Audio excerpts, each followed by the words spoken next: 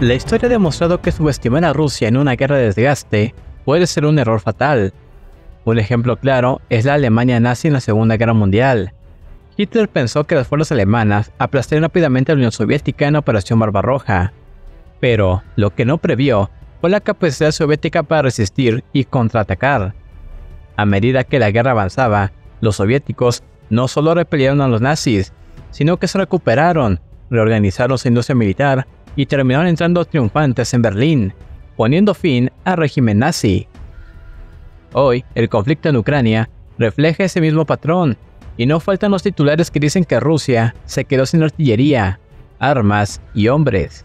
Y aunque claro, no todo ha sido victorias, y aunque Ucrania ha resistido con ayuda de Occidente, la realidad es que Rusia ha fortalecido su industria de defensa.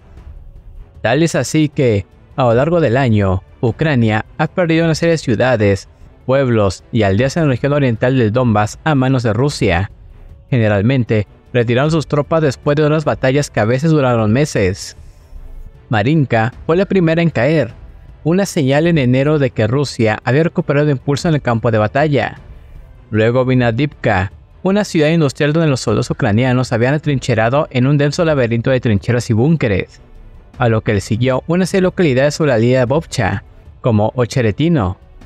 Finalmente, hace unos días, Ucrania se retiró de Buledar, una ciudad minera estratégica en edificios altos alzada en un terreno elevado, que era un eje de las defensas ucranianas en el sureste de Donetsk.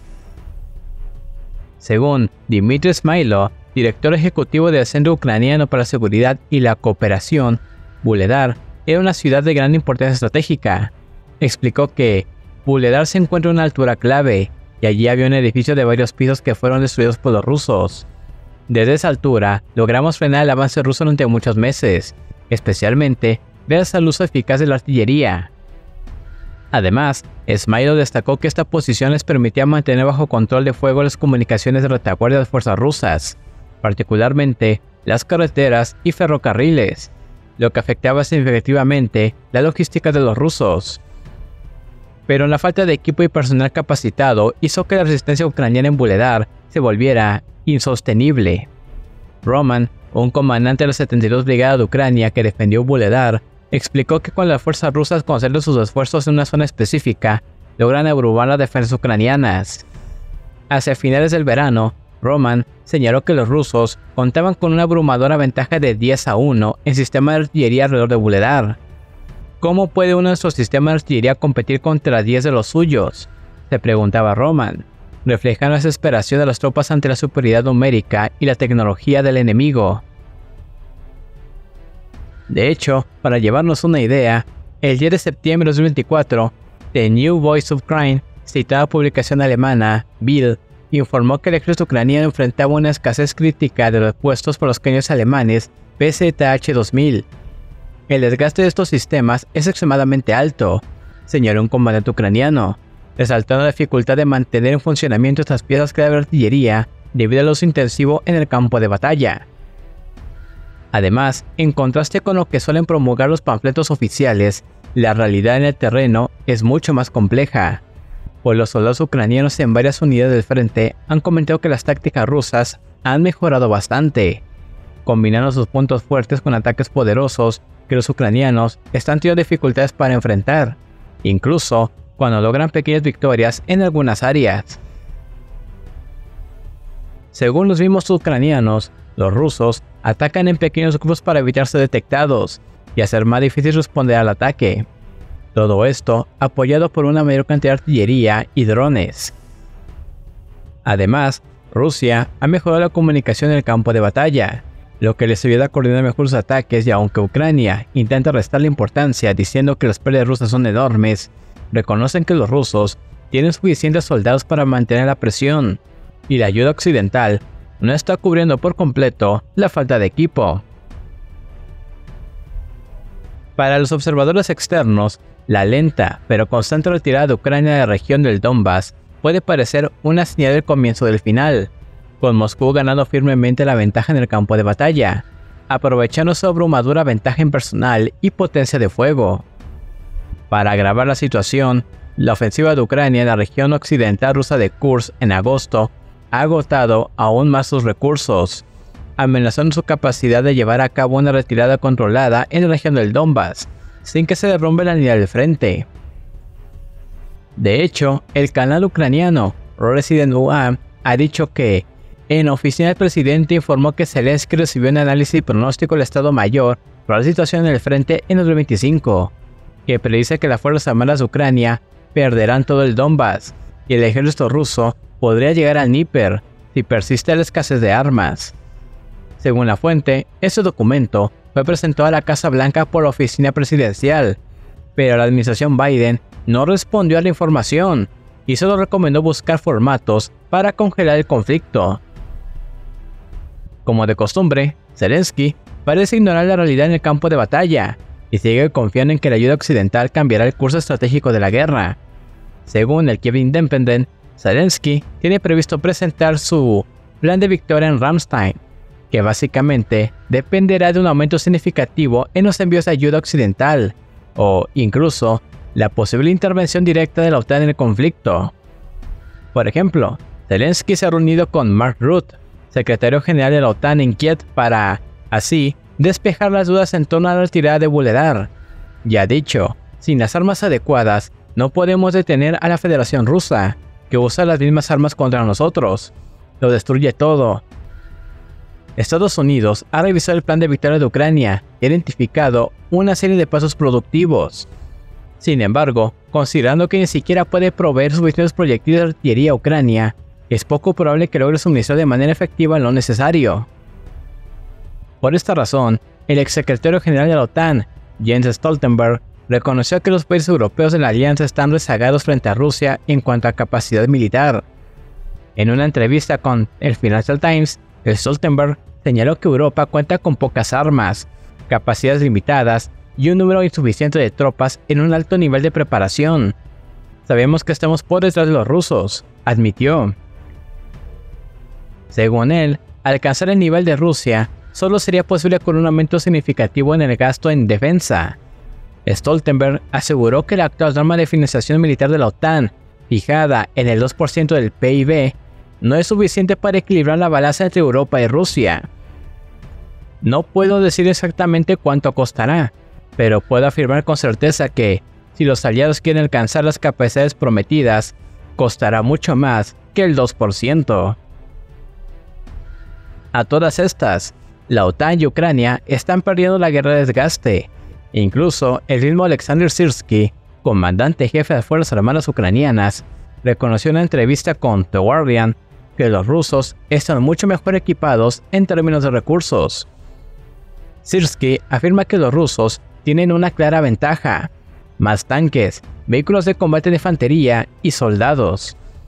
Además, mencionó que la fuerza de invasión rusa, que comenzó con 100.000 hombres, ha crecido a 520.000 y se espera que llegue a 690.000 para finales del 24.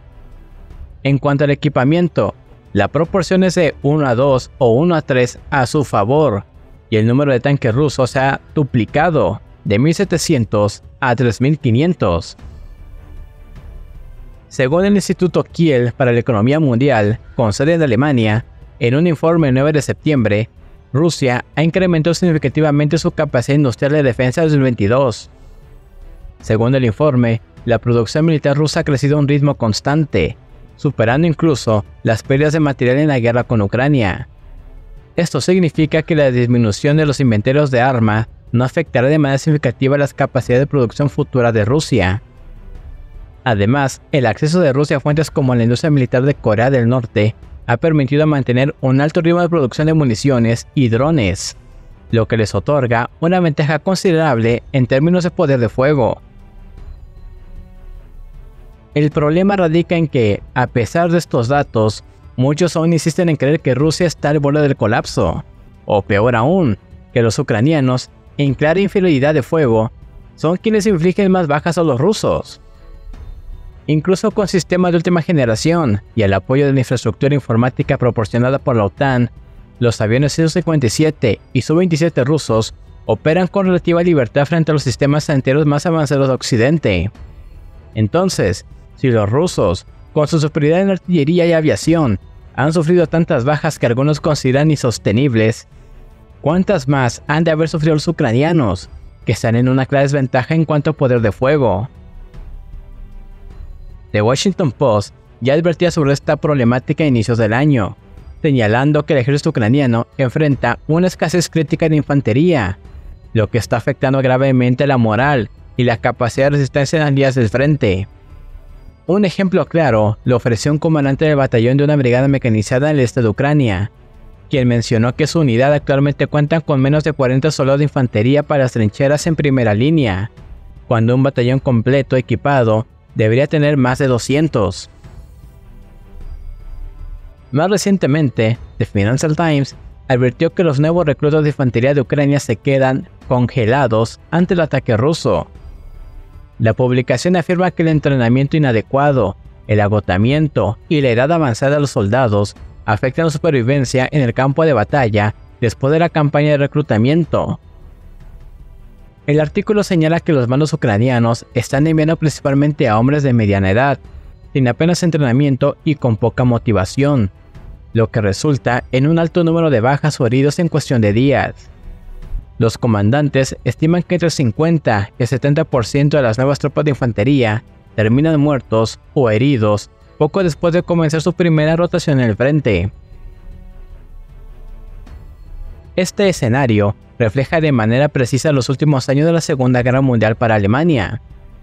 A medida que las bajas aumentaban y el conflicto se intensificaba, los nuevos reclutas muy jóvenes o muy viejos, recibían apenas un entrenamiento superficial antes de ser enviados al frente, donde debían aprender a sobrevivir observando a los veteranos. La película La Cruz de Hierro, dirigida por Sam Peckinpah, captura muy bien esa dinámica. En ella, los solos experimentados cargan con el peso de la batalla mientras los jóvenes e inexpertos apenas logran sobrevivir en medio de la brutalidad del combate.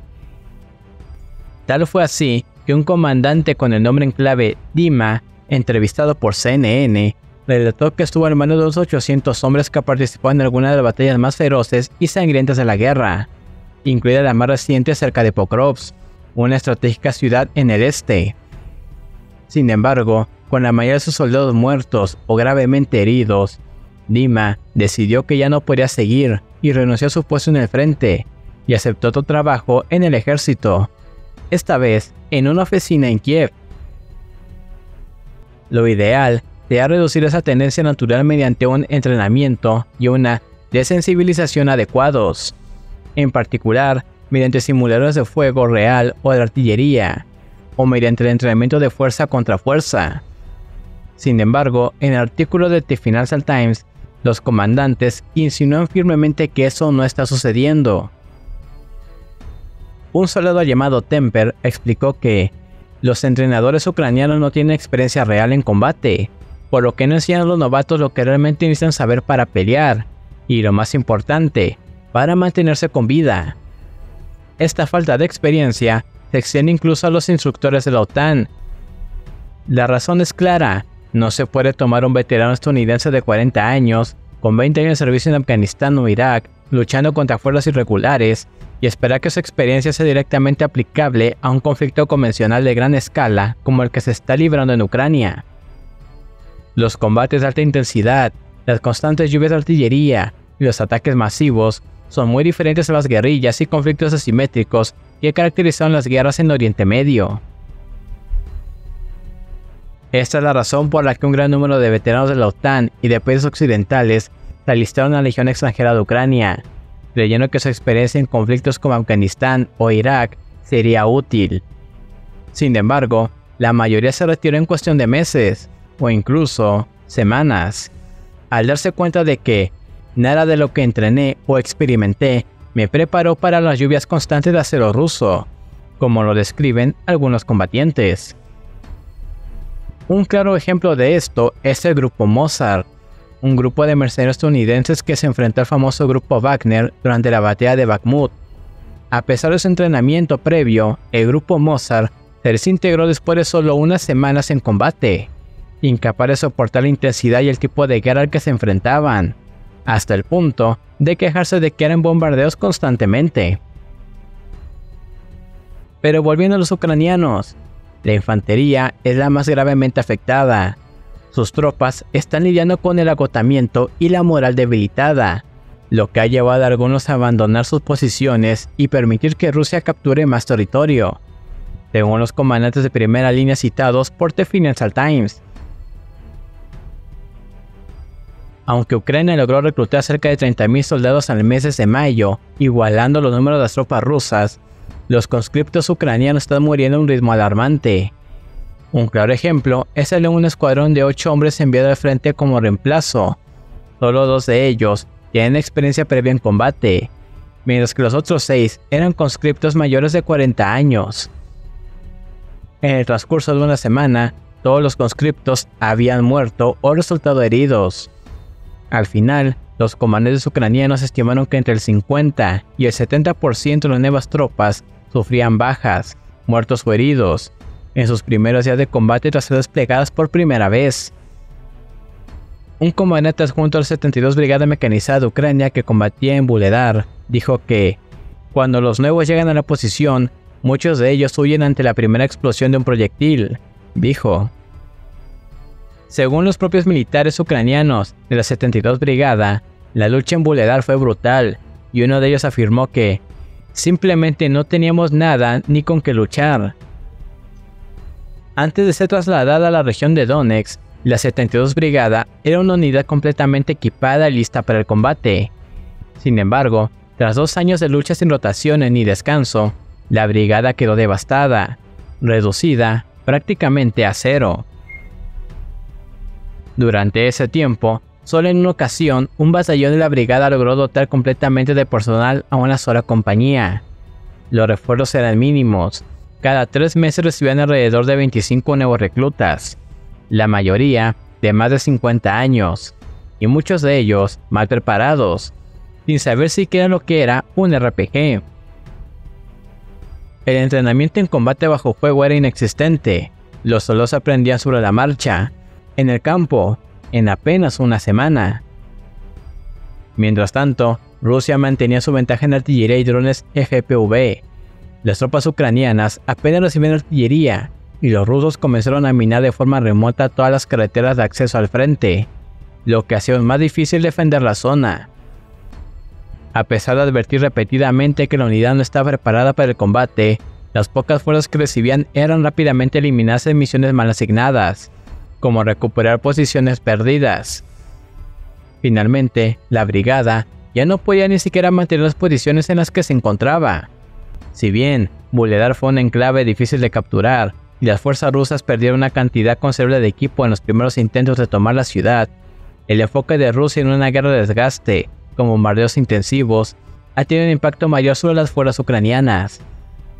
Según Dmitry Smailo, es probable que nuestras fuerzas se retiren más al norte, hacia asentamientos como Boyavalemka, para construir allí una nueva línea de defensa.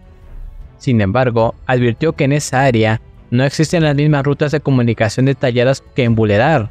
El problema con esa narrativa es que no hay tiempo ni recursos suficientes para establecer una línea defensiva eficaz que represente un verdadero desafío para los rusos. Los últimos planes defensivos de Ucrania se limitan a la construcción de trincheras en condiciones precarias acumulando piezas de hormigón que simulan ser dientes de dragón y estructuras metálicas que pasan por erizochecos. Eso no implica que Rusia esté acelerando sus asaltos, más bien avanza de manera calculada, buscando no sobreexplotar sus líneas y optimizando la consolidación de un frente más coherente en esta guerra de desgaste. Mientras tanto, las fuerzas ucranianas están colapsando a lo largo de Donetsk, tratando de mantener sus posiciones sin retroceder. Pero ignoremos que, para muchos, esto ha sido un fracaso ruso, mientras que la desastrosa ofensiva ucraniana que fue lanzada por Ucrania en el verano 2023 y planificada por la OTAN fue todo un éxito.